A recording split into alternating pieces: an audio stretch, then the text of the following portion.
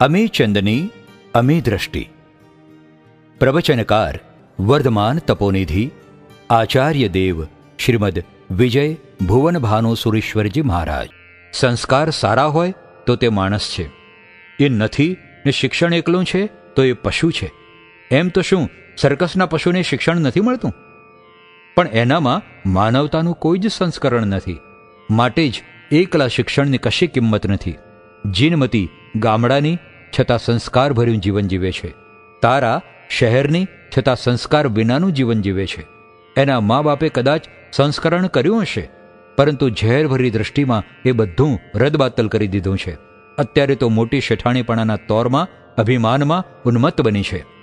પરંતુ કાળ જગતમાં ક્યાં એક સરખું કશું ચાલવા દે છે. પરિવર્તન લાવે જ છે.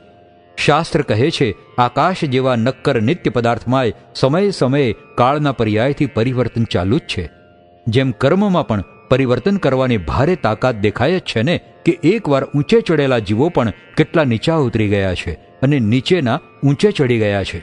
સાજા એ માંદા અને માંદા એ સાજા, આબરૂદાર એ બે આબરૂ આબરૂ વિનાના એ આબરૂદાર.